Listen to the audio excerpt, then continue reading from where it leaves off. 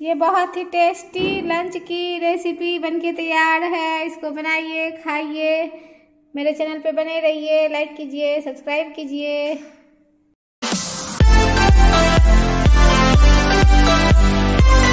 Hello friends जो blog में आप सभी लोगों का बहुत बहुत स्वागत है। बनाएँगे चना दाल पालक। यह चना दाल धो के साथ किया हुआ।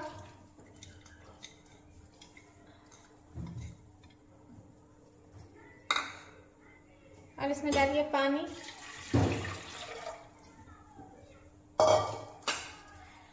और ये है पालक धो के साफ़ किया हुआ, इसको काट लेंगे।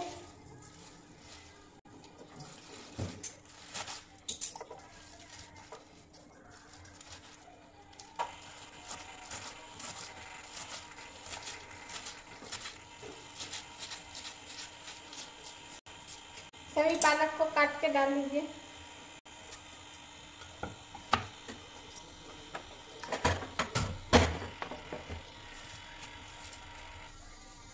डालिए नमक।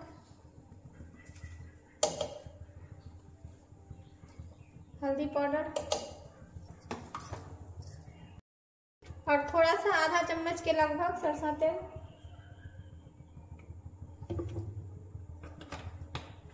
अब इसको पूरा पकने तक पकाइए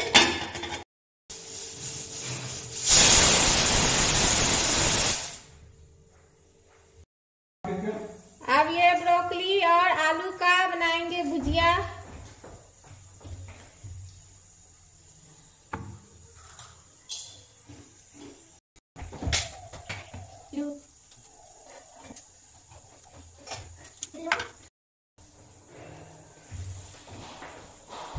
इस तरह से छील के इसको बड़ा छोटा, जैसा भी पीस काटना हो, भुजिया के लिए थोड़ा छोटा ही पीस काटिए।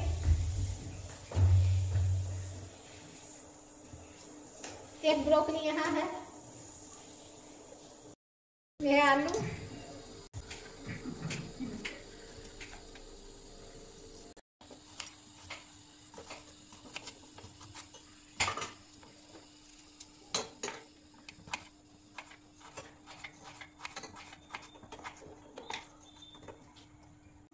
इस तरह का भुजिया काट लीजिए।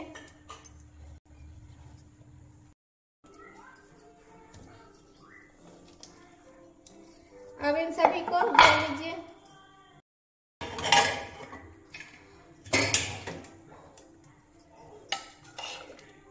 ये दाल बन गया है इसका तड़का बनाएँगे।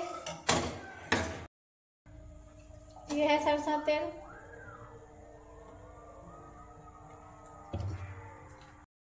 यह एक सूखी लाल मिर्च, एक हरी मिर्च, एक तेज पत्ता थोड़ा सा जीरा।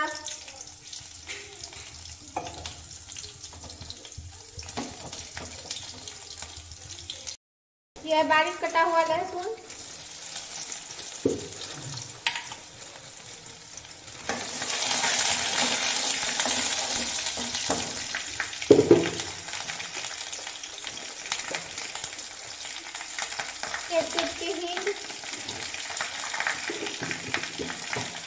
यह एक प्याज।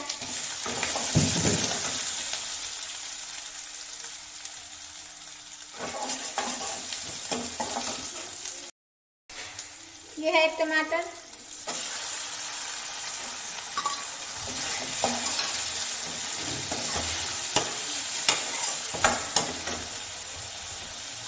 और इसमें डालिए सब्ज़ी के हिसाब से नमक। दाल में नमक दिया हुआ है।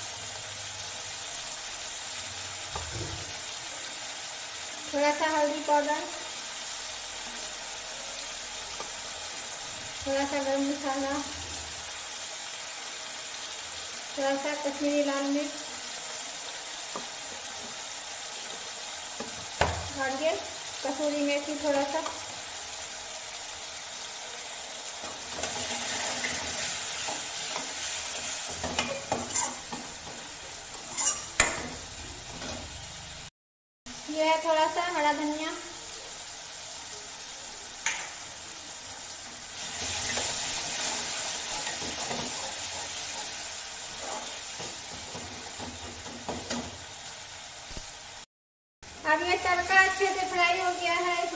बाद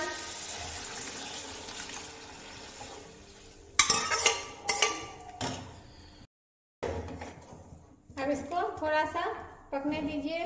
दो तीन मिनट, बस ये दाल, चना दाल, पालक बनके तैयार है।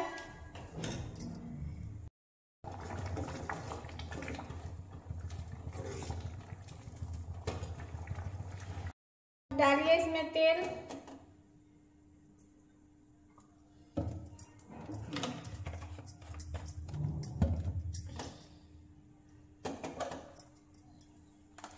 थोड़ा सा पचफोरन। सूखी मिर्च और हरी मिर्च भी आप इसमें डाल सकते हैं।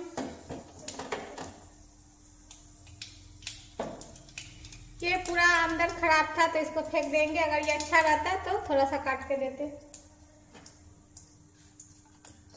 अब ये डालिए।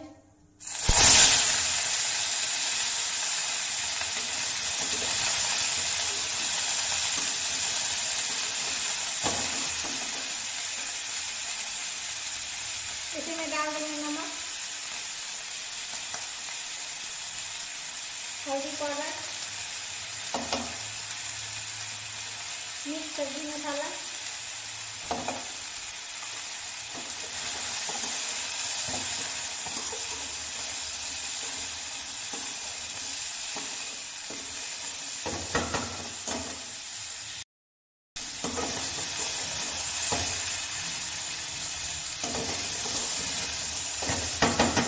अब इसको ढक के बीच में चलाते चलाते हुए पकाइए।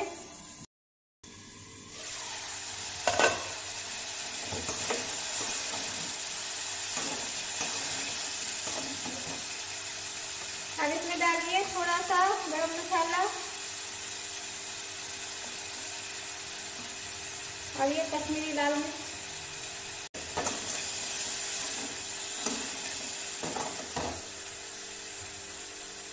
और ये है थोड़ा सा हरा धनिया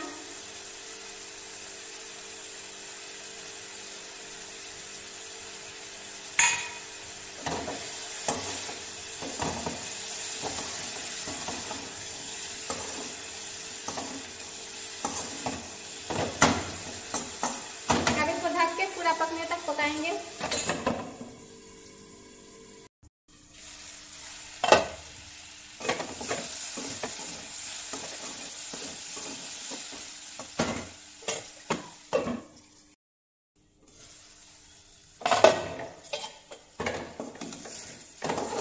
ये आलू ब्रोकली भुजिया बनके तैयार है। बहुत ही टेस्टी फ्लेम को ऑफ़ कर लीजिए।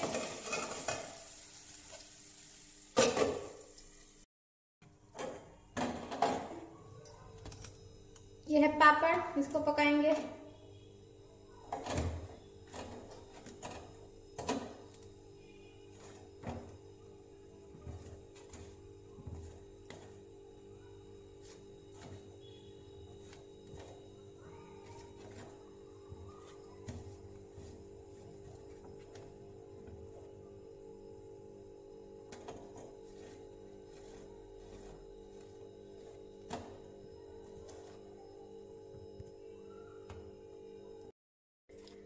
कभी कभी इस तरह से पापड़ को पका के भी खाइए बहुत टेस्टी लगेगा।